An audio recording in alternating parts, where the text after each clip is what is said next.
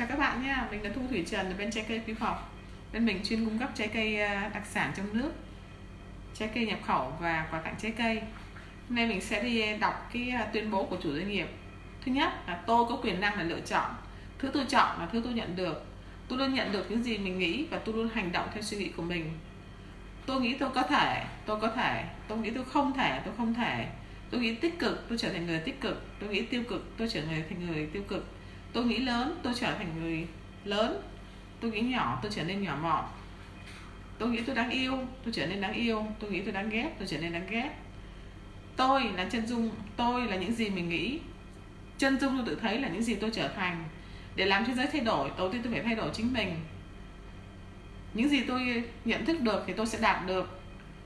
À, người khác làm được thì tôi cũng làm được. Chìa khóa là ở tư duy và chiến lược tôi luôn tập trung mục tiêu và liên tục hành động.